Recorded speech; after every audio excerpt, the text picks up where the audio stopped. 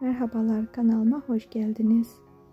Hakan Sabancı'nın sevgilisi, eski sevgilisi Aygün Aydın yeni sevgili yaptı.